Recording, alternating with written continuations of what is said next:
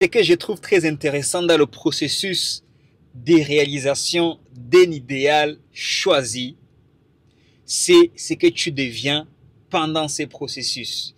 On a vu, on pense tellement à cet objectif, on pense tellement à cet idéal que cet idéal a fini par nous transformer automatiquement. Parce que pendant que tu réfléchis, que tu penses à comment atteindre ton objectif, que tu mets en place des stratégies, que tu apprends, que tu rectifies tes erreurs. Pendant ces processus-là, ça fait de toi d'une nouvelle personne. Néglige pas ces faits parce que c'est un fait universel. On ne peut rien faire sans l'avoir pensé en premier. Des fois même quand tu roules sur la route, tu peux avoir des vues. Nous, en tant qu'hommes, on a des challenges. On peut avoir, notamment en été, tu vois une jeune fille, une jeune femme, d'une certaine façon, tu peux t'amener à te tenter. Tu verras que tant que ta pensée reste sur cette image, tu commences à développer des trucs bizarres en toi. Mais dès que tu prends la mesure de briser cette pensée, de la remplacer par autre chose, parce que comme on dit, il n'y a qu'une seule chose sur laquelle tu as le contrôle, c'est ta pensée et tu ne peux tenir qu'une seule pensée en toi. Si tu as une pensée qui ne t'amène pas vers la bonne direction, il n'y a qu'une seule chose à faire, c'est de changer la pensée, de mettre la bonne pensée. Si notamment tu es ramené à penser à une femme qui n'est pas la sienne, tu peux juste remplacer cette pensée en mettant la pensée de la merveilleuse femme, si tu en as une comme moi, que Dieu t'a donnée. Si tu as une pensée de pauvreté, de manque, des pleurniches, des difficultés, tu peux la remplacer en mettant la pensée de ton idéal. Dès lors que tu mets la pensée de ton idéal, tu verras que de la même façon que tu vas vibrer bizarrement quand tu regardes une fille euh, avec une décotée, si tu mets une pensée d'accomplissement en toi, des richesses, tu vas commencer à vibrer avec cette pensée. Ça va changer quelque chose en toi. Et au fur et à mesure, ça ne se fait pas du jour au lendemain. Et au fur et à mesure, tu verras que c'est comme un moule entre les mains d'un potier.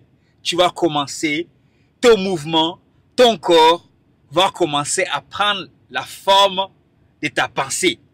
Quand tu vois un gars qui aspire à la meilleure santé comme moi, tu vois cette photo que tu vois là et la photo que j'avais il y a 4 ans, 5 ans, c'est pas la même parce qu'au bout des mois, j'ai commencé à dire, j'ai commencé à penser tous les jours sur mon volant en disant que il faut que je commence à faire du sport. Il faut que je commence à faire du sport.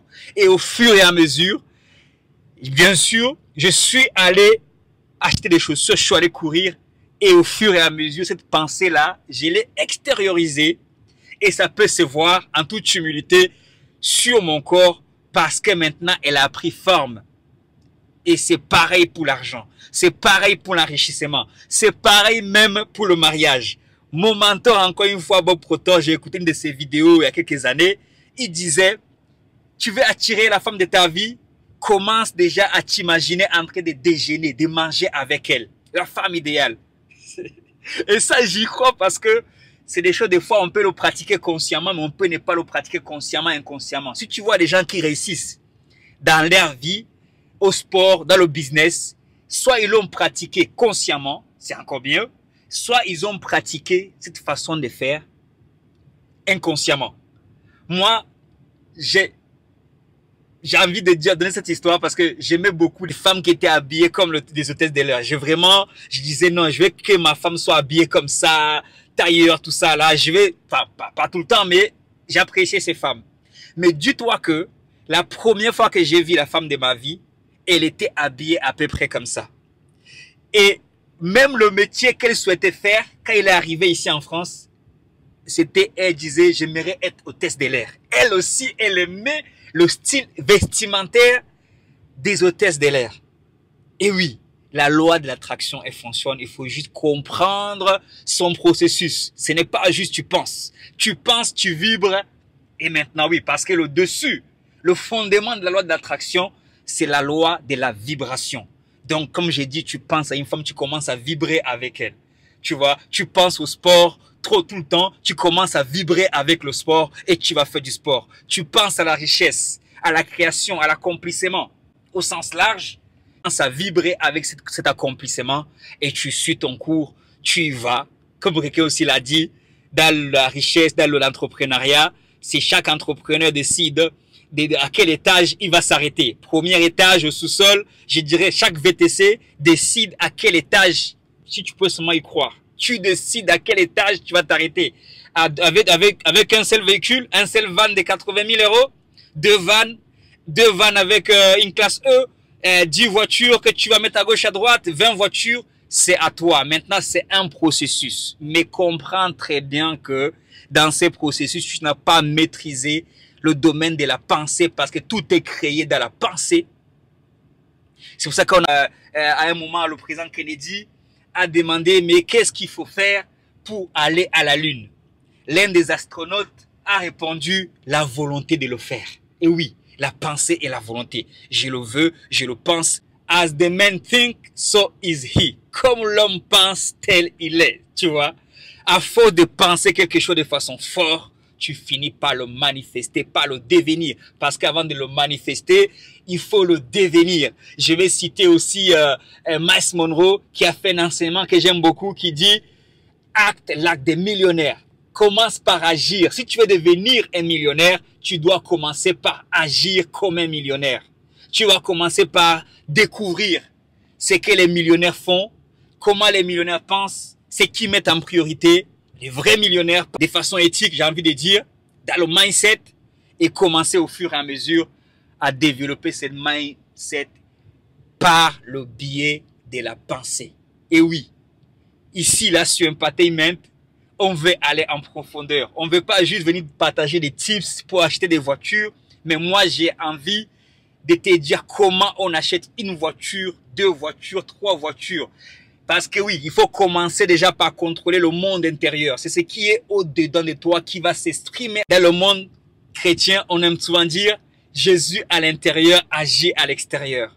Si tu es éliminé par quelqu'un, par Jésus ou qui tu veux, et qui te remplit d'amour, tu vas au bout d'un moment partager cet amour, extérioriser, cristalliser cet amour et ça va se voir j'ai envie que tu retiennes une chose dans cette vidéo, c'est la loi de la substitution.